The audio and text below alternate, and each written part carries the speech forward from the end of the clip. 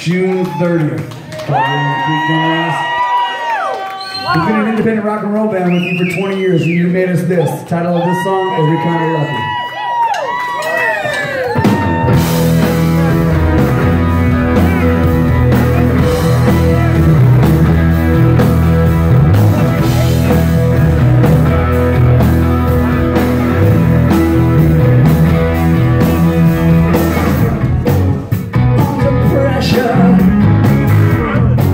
Such you.